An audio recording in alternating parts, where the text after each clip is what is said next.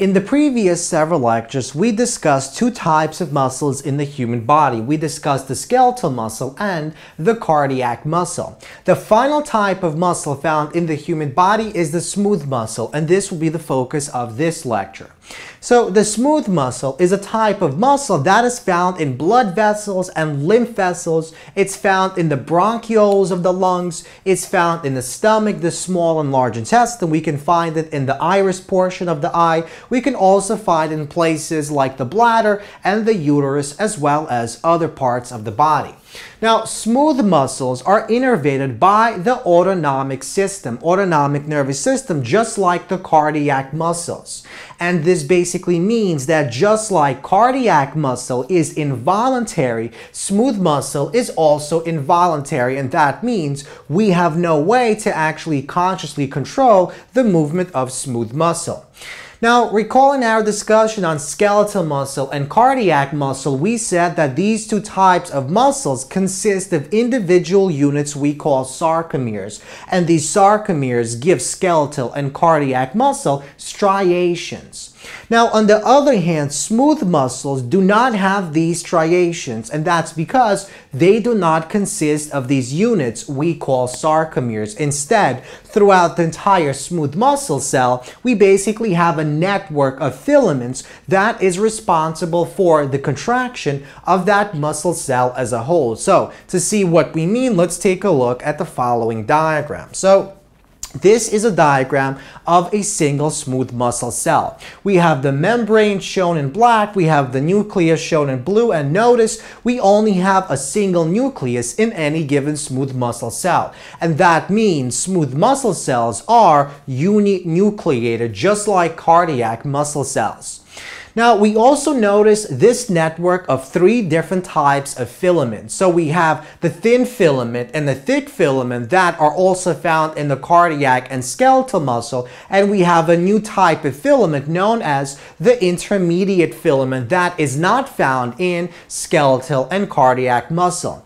Now, thin filament is composed of actin, the protein actin, while thick filament is composed of the protein myosin. Now, the intermediate filament is composed predominantly of two types of proteins. We have desmin as well as a protein known as vimentin.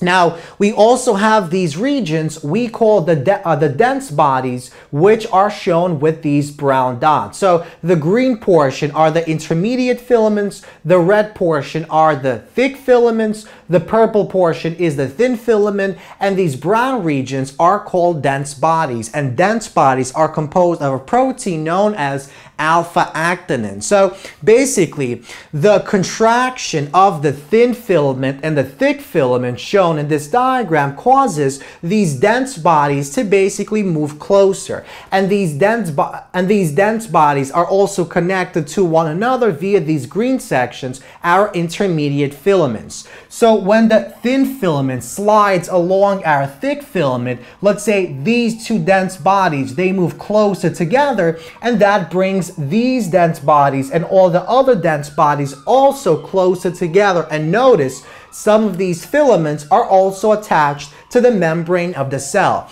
So when we have the contraction taking place, this network of filaments basically contracts uniformly and that causes the entire cell to basically shrink inwards and become smaller in size. So we have this contraction process taking place that is a result of this network of three types of filaments. So once again, there are three types of filaments. We have thin filaments, we have thick filaments, and we have intermediate filaments. So the contraction of the thin and thick filaments causes our dense bodies to move closer, which causes the shortening of intermediate filaments found throughout the entire cell. And since some of these filaments are connected to the membrane of the cell, what it ultimately causes is the contraction and the shrinkage of the entire cell as a whole. So basically it contracts in the following fashion. Now, There are two main types of arrangements of our muscle cells inside the human body. One of these arrangements is known as the single unit smooth muscle, also known as the visceral smooth muscle. And the other type of arrangement is known as the multi-unit smooth muscle arrangement. So let's begin by defining what a single unit smooth muscle is. So basically, this is the most common type of arrangement of smooth muscles inside our body. So single unit smooth muscles consist of an innervating neuron that basically innervates a single or several cells in a group or a collection of cells as shown in the following diagram. So we have a single neuron, the axon. The axon splits into uh, these two sections, these two groups, and only one of these cells, this cell here and this cell here, is actually innervated by that neuron. All the other cells, this cell, this cell, and this cell, and these other cells are not actually connected to our neuron directly. So in our single unit smooth muscle, what we have are gap junctions.